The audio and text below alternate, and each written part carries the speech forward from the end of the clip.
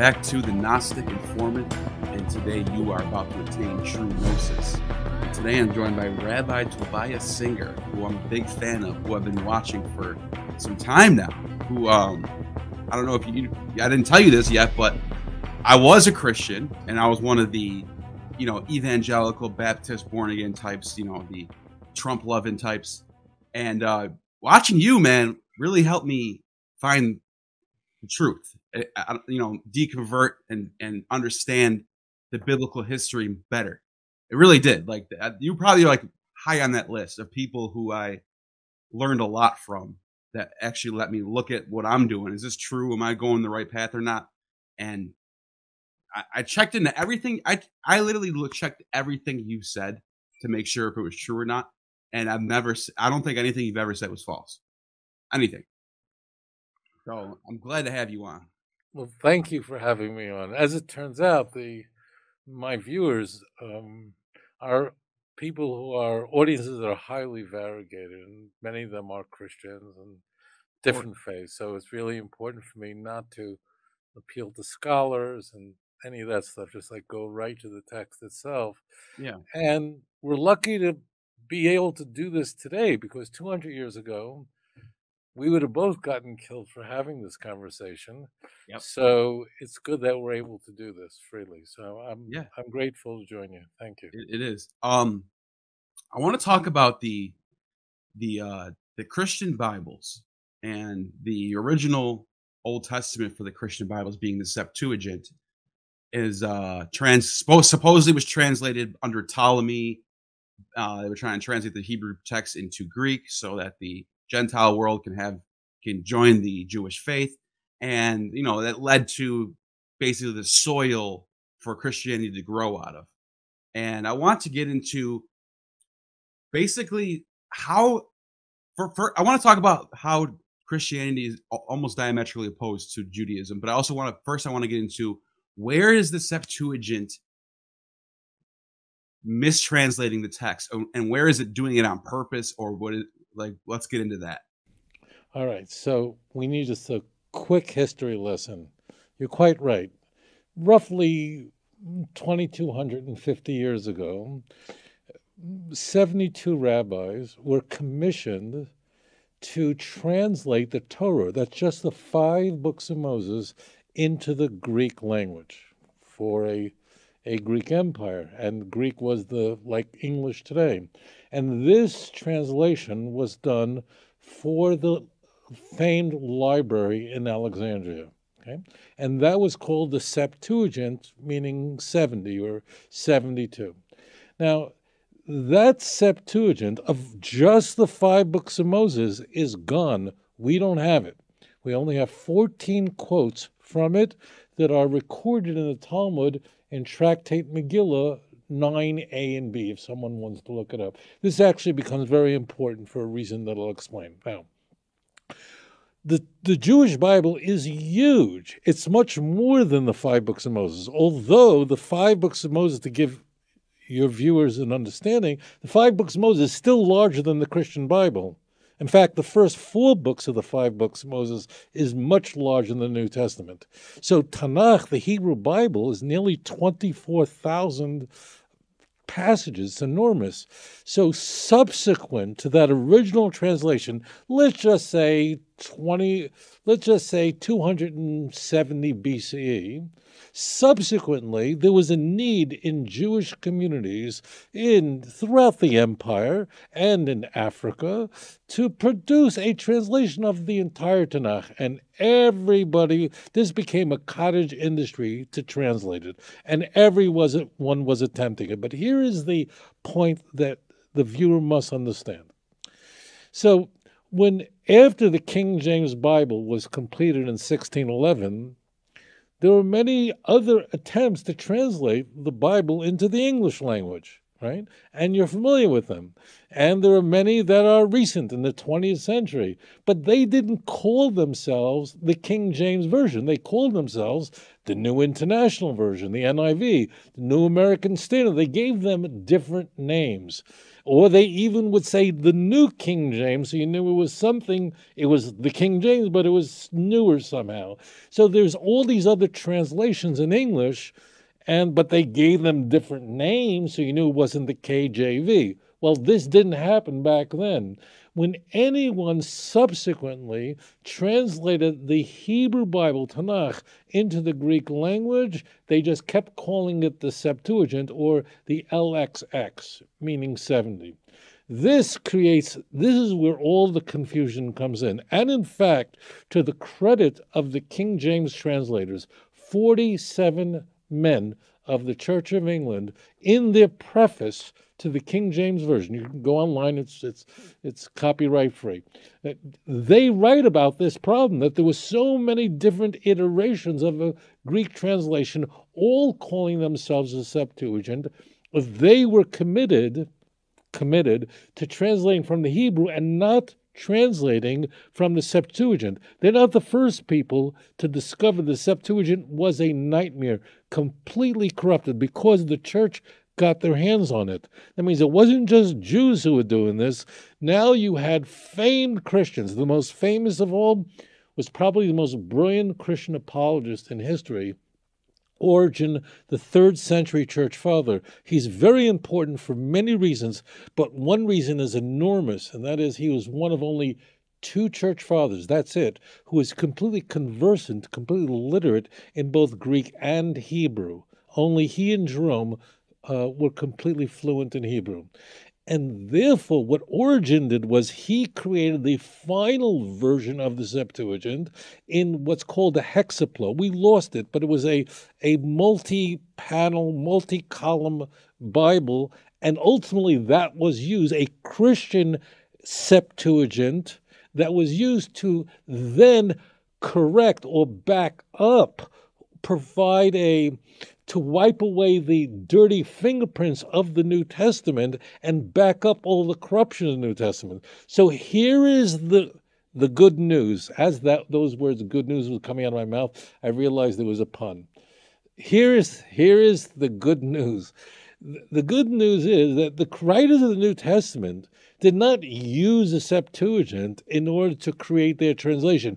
You're going to get that from your professors, either because they're evangelical fundamentalist Christians or because this is just standard this is standard fare in the in this is what their professors are taught. This is how professors they all according to the Septuagint there is not a single place in the Christian Bible where we are told that the Septuagint is being quoted. The Septuagint is not even mentioned. Moreover, in Luke 4 18 is an example when Jesus, we're told, is reading from the prophets in a synagogue on Sabbath in Nazareth. He's reading from a Hebrew scroll. He's reading from a Hebrew scroll.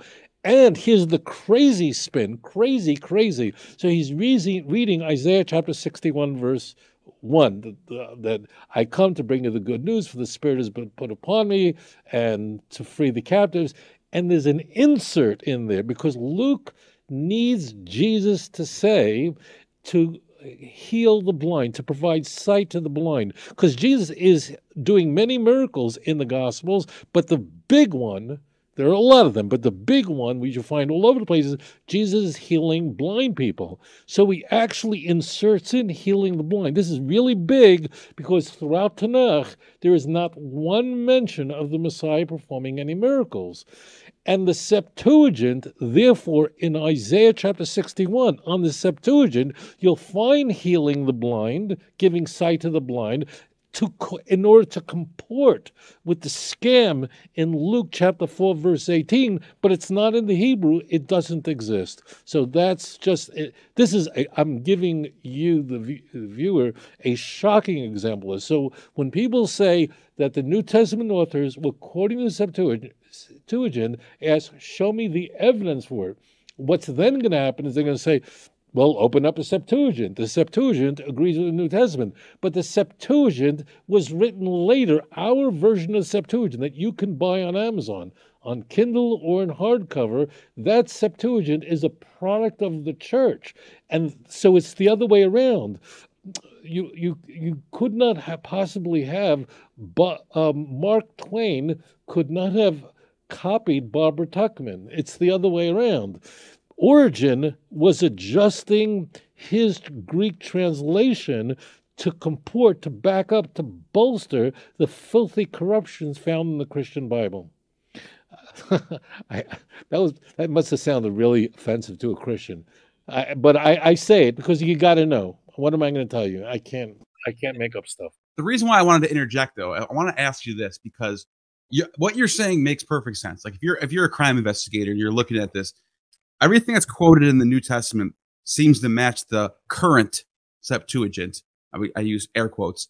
Um, so, but the question is, like, if you if what you're saying is true, and they they actually retranslated the Septuagint later times to to fit the New Testament, where what is Luke quoting from?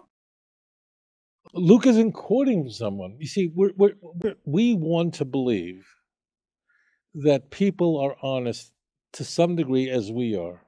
And because you and I, eh, what we're doing is we're projecting, because you and I would not run a scam. Presumably, you and I would not, you know, would never write a lie and as though it's true. We then impose it onto others. And then we wind up encountering people who actually are not honest. Now, one caveat of course, you know, we don't know who wrote the book of Luke, but it is unlikely that Luke and Matthew were these two scheming geniuses who just came up with this stuff. Because, in fact, Luke 4 is an L source. It's not to be found in the other Gospels, and there are many M sources. These were oral traditions that were developing in the Greco Roman world, not only in the land of Israel, but in the surrounding areas in Rome, and they developed over time. Remember, from the time of the crucifixion, let's just say that occurred in 30, the time the book of Luke was written, that's 40 years, 45 years. That's an enormous amount of time in the ancient world. So Luke is then gathering oral traditions, as is Matthew. They're both using Mark. They have Mark in front of them. Both of them will almost copy mark all 600 not all but almost all 679 passages of mark.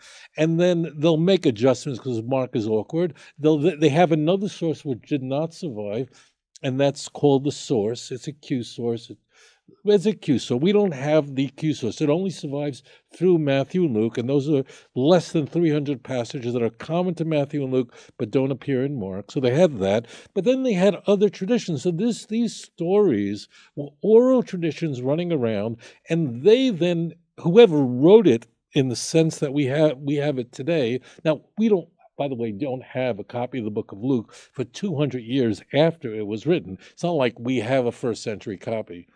Our earliest complete manuscript of the book of Luke is fourth century. Codex Sinaiticus. I mean, that's the oldest. I mean, we're talking hundreds of years after the book of Luke was written. How we date Luke and Acts is a different matter, but this is end of first century, but we have no manuscripts in the first century. I believe we have 12 fragments from the second century, fragments, very, very little. I mean, until we start to see any the third and then the fourth century, of course, we have more because we have the the major codices. What's happened here is these authors, these are editors who are collecting, accumulating information, then sewing it together in their versions of the Gospels. That's why we find common material and material that's completely different, L, M, and so on. So that's actually a good point because do you, do you think like let's say the rubber rope marker Q, the earliest versions, do you think that they're because I was you know it's funny because you ever seen a movie where someone's at a job interview, it's like a comedy, and they're being asked questions they don't know the answers. They're looking around the room and they just, whatever they see, they'll be like, oh, and they see a picture of a car, they'll be like, oh, I worked on cars or something like that. You know, you know what I'm talking about? They have no idea, but they're looking around for answers. That seems like what the New Testament is. There, it seems like every passage is being taken from the Old Testament from somewhere. For example, um, Jesus being sold for 30 shekels. Well, you see that in Joseph being sold. He's sold by Judah. G- Jesus is sold by Judas. the entire New Testament is sort of these little mini allegories of the Old Testament. And that, the, the reason, and I think what I'm getting at, the question I'm getting towards is, it, do, did did the original writers of Q or Mark did they have fragmentary scrolls? Did they have a Bible? Did, what did they have an Old Testament? What, what was their source? Basically, is what I'm trying to get at. So Q is a very different type of book than the Book of Mark because Q is uh, sayings of Jesus. Um, Mark is a lot more than sayings of Jesus. In fact, Mark, in contrast, is so different because Mark is only 16 chapters. The first eight chapters, and see, almost no one on the planet ever read the book of Mark, but has not yet read the book of Matthew. That's why this is so difficult for people. So every when everyone gets to Mark, they've read Matthew and they just seem to see Matthew in Mark and they just fill it in because they are similar, but what's unique to the book of Mark is that who Jesus is is a huge secret in the book of Mark. Eight chapters, it's the biggest secret in the world. Don't tell anyone who I am. It's the big secret, right? So, you know, so that's very, very strange stuff. Mark, of course, has the vicarious atonement of human sacrifice and and spirit and and cannibalism, the ritual cannibalism of the Eucharist is in the book of Mark. The vicarious atonement, which was manufactured by Paul years earlier in Mark chapter 10, verse 45. You have that same kind of vicarious atonement where Jesus dies as a as a covering, as a ransom, the same text in Matthew chapter 20, verse 28. Notice, by the way, it's not Luke. We have no uh, no equivalent in the book of Luke because Luke doesn't believe in vicarious atonement, that Jesus died vicariously for your sins. So it's noticeably, ab- that text is noticeably absent in the book of Luke. So, so Q and Mark are really different kind of book.